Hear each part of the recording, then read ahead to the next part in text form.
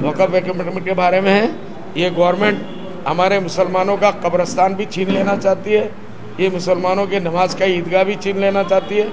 मस्जिदों का भी ज़मीन भी छीन लेना चाहती है। मस्जिदों को तोड़ देना चाहती है। और जब इनके पास कब्ज़ा चला जाएगा, नया हिसाब से न ईदगाह रहेगा, न कब्रस्तान रहेगा। मुसलमानों को अपना कब्र में जगह देने के लिए जगह नहीं मिलेगी। लाश को लेके फिरेंगे। ये कब्रस्तान ये करना चाहती है। सारे मुसलमानों के वक्फ की प्रॉपर्टी को हड़प करना चाहती है, अपने लोगों को देना चाहती है।